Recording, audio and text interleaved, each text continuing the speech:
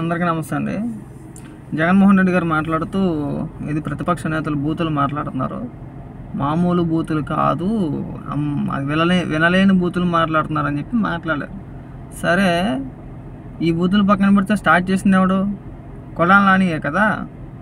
నీ అమ్మ మొగుడు నా కొడక ఆ నా కొడక అన్ని మాట్లాడినప్పుడు ఏం పెట్టుకున్నారు జగన్మోహన్ రెడ్డి గారు? మీరు చెవుల్లో మనం మాట్లాడితే మనం సిగ్గున్నారు కదా అదే స్టార్ట్ చేసిందే మనమే. అసెంబ్లీలో తిట్టించాము అసెంబ్లీలో సాక్షాత్తు మీ పార్టీ ఎంపీ రఘురామకృష్ణరాజుని లుచ్చా నా కొడక అంటే ఇది అభిమా అభిమానంతో మాట్లాడని చెప్పేసి కవర్ చేసుకున్నావు. సిగ్గులేదు నీ ముఖానికి? ఇప్పుడు మీ ముఖానికి కొద్దిగానే సిగ్గు ఉండాలి కదండి. మనం మాట్లాడుతున్నామంటే. మళ్ళీ టీవీ డిబేట్లో తిట్టిస్తారంటే కొడాలని మంత్రిగా ఉన్నప్పుడు తిట్టినప్పుడు ఎవడో ఉన్నాడు మాట్లాడతాడు. అమ్మ మొగుడ ఈడమ్మ మొగుడు అని చెప్పి మాట్లాడినప్పుడు మీరు ఎందుకు ఖండించలేదు? మీరన్నా ఖండించాలి కదా? ఈరోజు మీ దాకా వచ్చిన తర్వాత ఏదో మీటింగ్లు పెట్టి ఆ, బూతులు తిడుతున్నారు మనల్ని అంటే మీ పార్టీ వాళ్ళు మొదలెట్టిందే కదా ఈ రంత ఈ రచ్చంతా కూడా? లేదంటే రాష్ట్ర ప్రజలకు ఇంత కర్మ ఎందుకంటున్నా? సాధారణంగా రాజకీయాల్లోని మీరేం చేశారు మేమేం చేసామని చెప్పి చెప్పుకుంటారు జనరల్గా.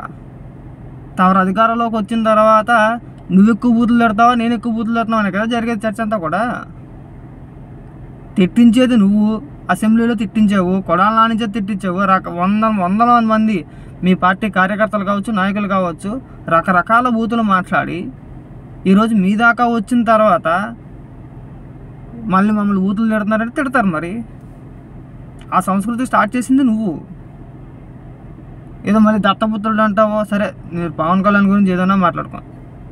మధ్యలో చంద్రబాబు నాయుడు గారిని తీసుకోతావు దత్త తండ్రి అంటావు నువ్వెవడు పుత్రుడు మరి సిబిఐ సిబిఐ పుత్రుడువా? ఇప్పుడు నువ్వంటే అవినీతి కేసుల్లో ఉన్నావు. నీలాగా అందరూ అవినీతి కేసులో లేరు కదా. తమ చరిత్ర ఎవరో తెలియంది. ఏదో కొత్తగా వచ్చి పత్తితి చెప్పుకుంటా నన్ను మించిన వాళ్ళు లేడు. నేనేదో ప్రజలకు మంచి చేస్తున్నాను. ఏంది నువ్వు చేసింది గాడిదగుడు మంచి? చెప్పుకోవడానికి ఒక పని చెప్పు. ఇగో నేను పలానా పని చేశాను రాష్ట్ర ప్రజల కోసం. ఇక దీనివల్ల ఇంత ఉపాధి కలుగుద్ది? ఇంతమంది ఉద్యోగాలు వస్తాయని చెప్పేసి నువ్వు ఒక్కటి చూపించు. మనంతా కూడా అప్పు చేసి పంచడమే కదా. దానికి నువ్వెందుకయ్యా అప్పు చేసి పంచడానికి? ఆ మాత్రం అప్పులు ఎవడు చేయలేడని చెప్పేసి అని. సరే ఈసారి నుంచి అన్న మాట్లాడేటప్పుడు ఈ బూతుల గురించి గట్రా నువ్వు మాట్లాడు మాకు చాలా చండాలంగా ఉంది. వినటానికి మాకే చండాలంగా ఉంది.